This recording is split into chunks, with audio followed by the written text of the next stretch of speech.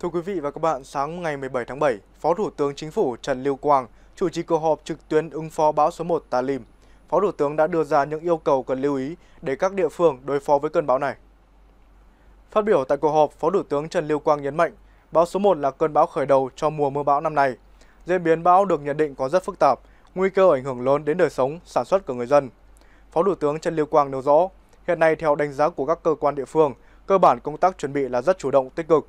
Tuy nhiên, Phó Thủ tướng lưu ý các địa phương có điểm thuận lợi là đã có kinh nghiệm ứng phó với bão, nhưng chính điều này cũng rất đáng lo ngại vì có thể phát sinh tâm lý chủ quan. Phó Thủ tướng Trần Lưu Quang nhấn mạnh, để ứng phó với bão số 1, các địa phương cần tập trung triển khai nghiêm túc công điện số 646 CDTTG của Thủ tướng Chính phủ. Trong đó lưu ý 4 vấn đề. Thứ nhất, không chủ quan lơ là. Thứ hai, chủ động linh hoạt trong xử lý tình huống. Thứ ba, phối hợp chặt chẽ trong ứng phó. Và thứ tư là chuẩn bị chu đáo nhất để có thể ứng phó với bão. Phó Thủ tướng Trần Lưu Quang cho biết thêm, các bộ ngành, địa phương huy động mọi nguồn lực để ứng phó bão số 1. Tinh thần và mục tiêu chung là không để thiệt hại về người và hạn chế thấp nhất những thiệt hại về kinh tế do bão số 1. Thưa quý vị và các bạn, chiều 15 tháng 7, áp thấp nhiệt đới trên vùng biển phía đông, khu vực Bắc Biển Đông đã mạnh lên thành bão. Cơn bão số 1 năm 2023 có tên quốc tế là Talim. Hồi 4 giờ ngày 17 tháng 7, vị trí tâm bão ở vào khoảng 20 độ Vĩ Bắc, 113,5 độ Kinh Đông, cách bán đảo Lôi Châu, Trung Quốc khoảng 340 km về phía đông đông nam. Sức gió mạnh nhất vùng gần tâm bão mạnh cấp 11, tương đương 103 đến 133 km/h, giật cấp 15. Dự báo trong 24 giờ tới, bão số 1 di chuyển theo hướng Tây Bắc, mỗi giờ di chuyển được từ 10 đến 15 km. Bão có khả năng mạnh thêm. Vị trí tâm bão ở vào khoảng 21 độ Vĩ Bắc, 109,5 độ Kinh Đông. Trên khu vực phía Tây bán đảo Lôi Châu Trung Quốc, cách Móng Cái, Quảng Ninh, khoảng 190 km về phía đông đông nam, cách thành phố Hải Phòng khoảng 290 km về phía đông. Vùng gần tâm bão gió mạnh cấp 11 đến 12, giật cấp 15, cấp độ rủi ro thiên tai cấp độ 3. Dự báo trong 48 giờ tới, bão số 1 di chuyển theo hướng Tây Tây Bắc, mỗi giờ di chuyển thêm được từ 10 đến 15 km. Vị trí tâm bão ở vào khoảng 21,5 độ Vĩ Bắc, 107,5 độ Kinh Đông, trên vùng ven biển tỉnh Quảng Ninh, Hải Phòng. Vùng gần tâm bão gió mạnh cấp 9, giật cấp 12. Cấp độ rủi ro thiên tai là cấp độ 3. Dự báo trong 72 giờ tới, bão số 1 di chuyển theo hướng Tây Tây Bắc, mỗi giờ di chuyển được từ 10 đến 15 km, tiếp tục suy yếu dần thành vùng áp thấp. Vị trí tâm bão ở vào khoảng 21,8 độ Vĩ Bắc, 105,5 độ Kinh Đông, trên đất liền khu vực phía Đông Bắc Bộ. Vùng gần tâm bão gió mạnh dưới cấp 6, cấp độ rủi ro thiên tai là cấp độ 3. Từ 72 đến 120 giờ tiếp theo, vùng biển phía Bắc khu vực Bắc Biển Đông có gió mạnh cấp 8, 9, vùng gần tâm bão mạnh cấp 11, 12, giật cấp 15, biển động dữ dội. Từ khoảng chiều ngày 17 tháng 7, Bắc Vịnh, Bắc Bộ, bao gồm các huyện đảo Bạch Long Vĩ, Hải Phòng và Cô Tô, Quảng Ninh, có gió mạnh dần lên cấp 6, 7, sau tăng lên cấp 8, 9, vùng gần tâm bão cấp 10, 11, giật cấp 14, biển động dữ dội. Trên đất liền gần sáng 18 tháng 7, vùng ven biển khu vực từ Quảng Ninh đến Nam Định có gió mạnh dần lên cấp 6, 7, sau tăng lên cấp 8, vùng gần tâm bão cấp 9, 10, giật cấp 13.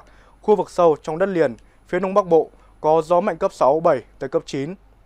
Vùng biển phía bắc, khu vực Bắc Biển Đông có sóng biển cao 5 đến 7 mét. Thưa quý vị, lưu lượng nước về hồ thủy điện trên cả nước đang tăng. Các nhà máy thủy điện phát điện theo quy trình vận hành đã tăng công suất phát, hạ thấp mực nước sẵn sàng đón lũ. Cụ thể ngày 16 tháng 7, mực nước hồ chứa thủy điện khu vực Bắc Bộ tăng nhẹ và dự báo tình hình thủy văn, lưu lượng nước về hồ 24 giờ tới sẽ tiếp tục tăng.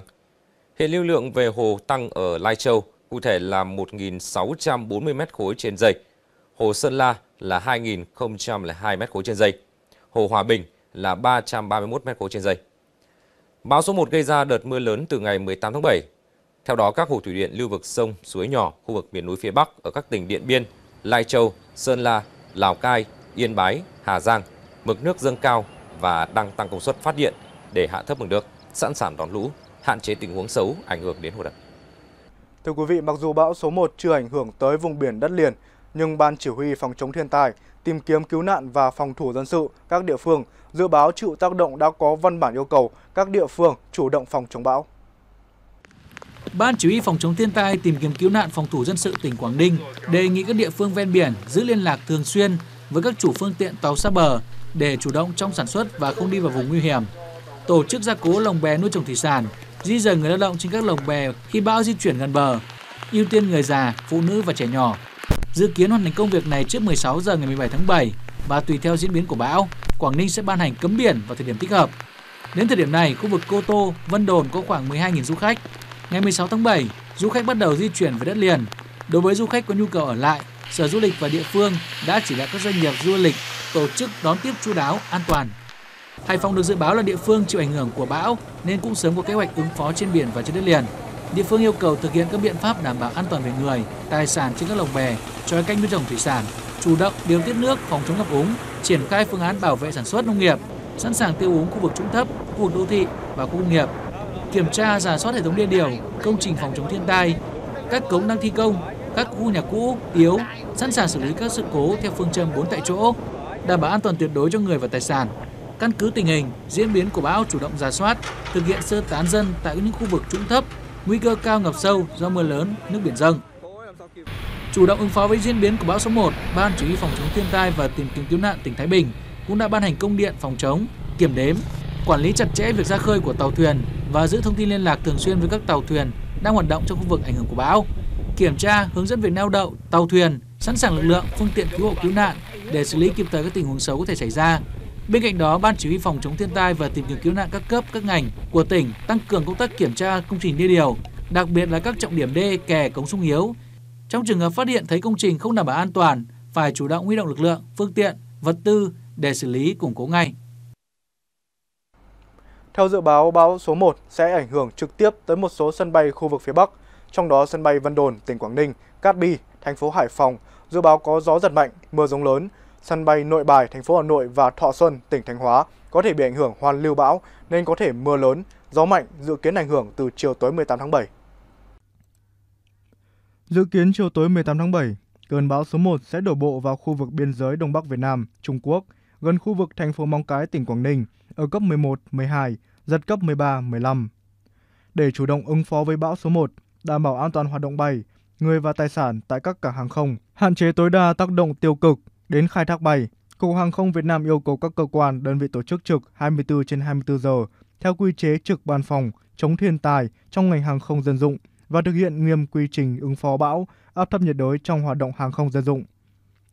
Tổng công ty Quản lý bay Việt Nam chỉ đạo các cơ sở cung cấp dịch vụ khí tượng hàng không tăng cường công tác đảm bảo chất lượng thông tin khí tượng, liên tục theo dõi tình hình thời tiết trong khu vực trách nhiệm, cập nhật các bản tin dự báo, cảnh báo, cung cấp đầy đủ kịp thời thông tin quan trắc, dự báo, cảnh báo tới người dùng.